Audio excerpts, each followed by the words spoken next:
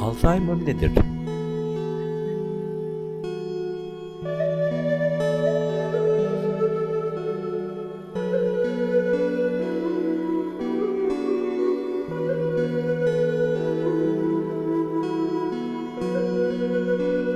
Günümüzde yaş ortalamasının her geçen gün ilerlemesiyle beraber Alzheimer hastalığının görülme oranı da yükselmiştir. Peki Alzheimer nedir? Alzheimer yaşa bağlı olarak ortaya çıkan ve unutkanlık başta olmak üzere nörolojik yeteneklerin azalmasına neden olan bir beyin rahatsızlığıdır. Hastalık adını ilk tanıyı koyan doktor olan Alois Alzheimer'dan almaktadır.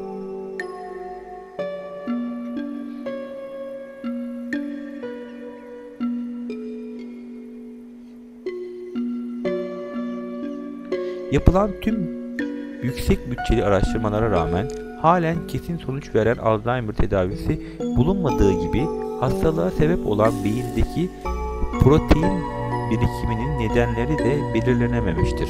Bu nedenle ne yazık ki Alzheimer tedavisi için uygulanan tüm yöntemler hastalığın ilerleme hızını durdurmak içindir ve kesin bir tedavi yöntemi de yoktur.